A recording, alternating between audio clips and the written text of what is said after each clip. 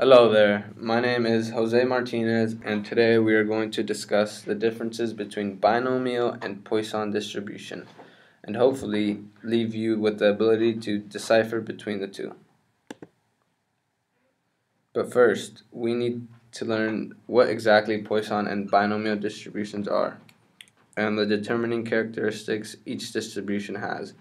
So first, we are going to discuss binomial distribution. What is it, how to use it, and what symbols portray the, what meaning. Secondly, we will be discussing Poisson and cover all the key points we covered with binomial. After learning about each distribution, it will be time to compare them side by side.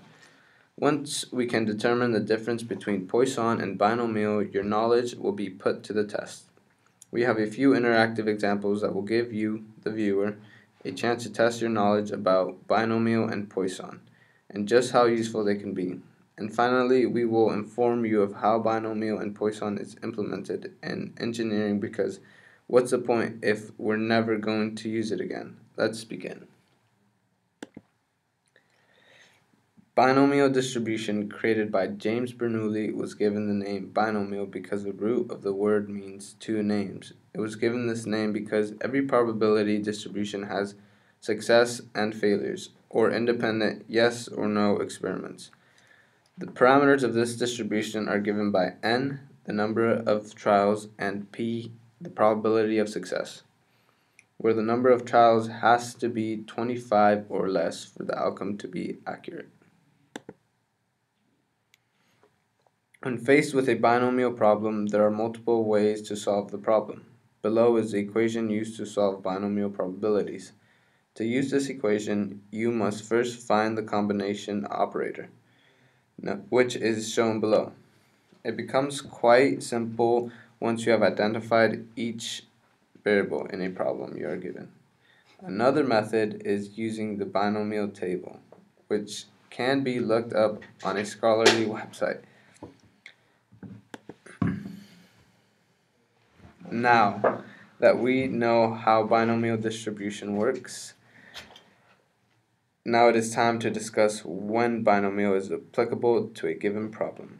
When there is an exact probability of an event happening, for example, suppose 80% of adults with allergies report symptomatic relief with a specific medication.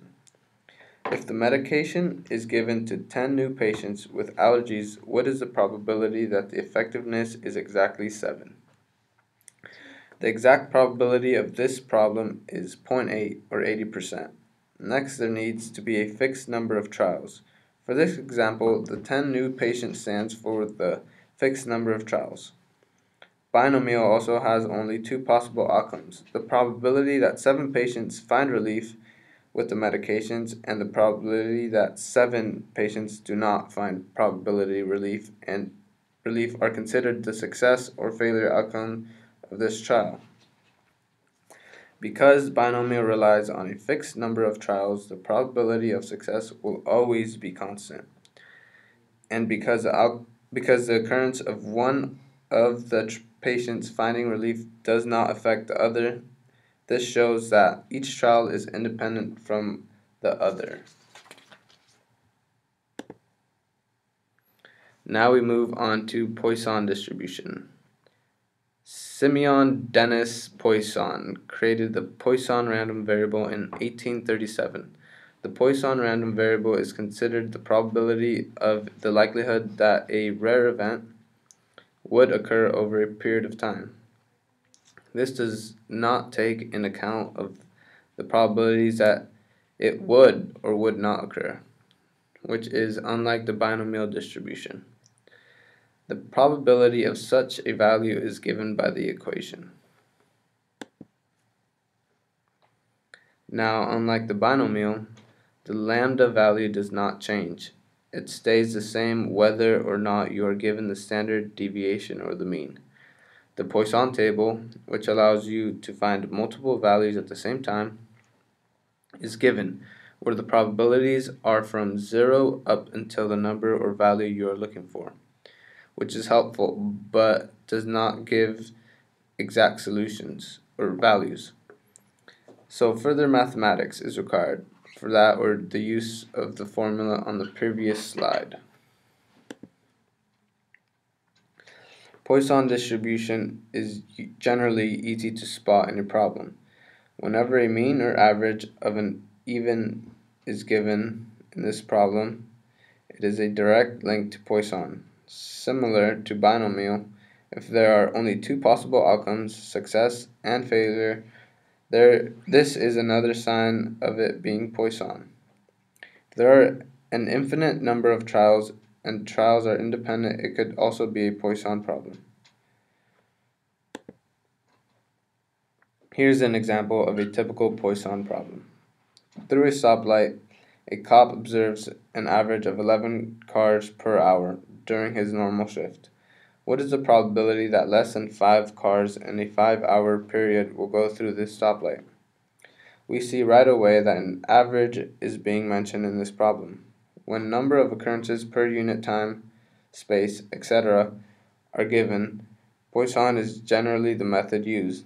There are also no number of trials mentioned, which classifies this example as a Poisson distribution problem. Comparing these two methods can be difficult. We made a clear chart for these that will clear things up. There are similarities and there are also differences between the two. For example, the number of trials for both these are at extremes. Also, the outcome is something that should be looked at. You can also look at the Poisson distribution, distribution as an approximation of the binomial, referring back to what we have been over. Both these distributions can be used to test for independence. Also, the probabilities remain constant from trial to trial. Now it's your turn to test your knowledge of binomial and Poisson distribution. For each example, we want you to decide what type of distribution you should use on each example given. You may pause this video after each example is read to give yourself time to decide on an answer. A life insurance salesman sells an, on average three life insurance policies per week. Calculate the probability in a given week he will sell more than five policies.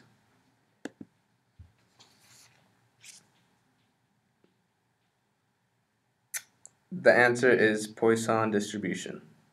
The telltale sign of Poisson distribution is having any type of average or mean mentioned in the problem.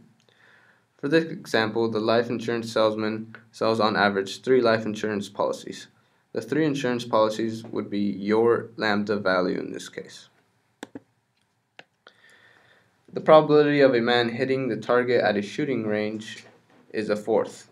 If he shoots 10 times, what is the probability that he hits the target exactly three times? The answer is binomial distribution. It is binomial because we see that we are given an exact probability, a fourth, or 25%. We are also given a fixed number of trials, 10, which as you can see from the first example, there are no number of trials listed because Poisson has an infinite sample space. A company makes the electron the elect a company makes electric motors the probability of an electric motor is defective is 0.01. What is the probability that a sample of 300 electric motors will contain exactly 5 defective motors?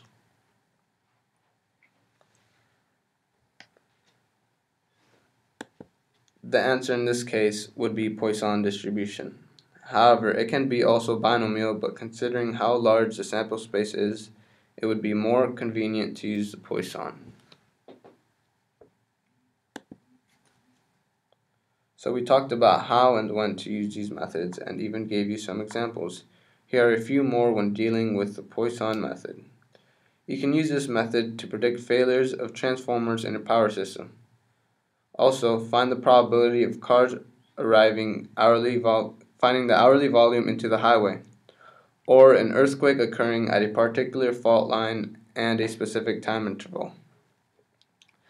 Also, the probability of a cyclone in a certain amount of time. Okay, so now there are also many implementations of the binomial distribution. like figuring out the probability of peak floods occurring greater than the designed peak flood in a specific time. Also, probability of a car turning left at a specific intersection and the probability of a concrete block failing exactly two times during a strength test. So to wrap things up, today we learned about the differences between binomial and Poisson distributions and when it is appropriate to use each distribution. We also learned how these distributions are implemented in engineering. We hope that you have that you leave here today having a better understanding of these distributions and hopefully you get the chance to apply it. Thanks for watching, and if you have any further questions, please see Dr. Colleen Bronner in her office at Langdon 105.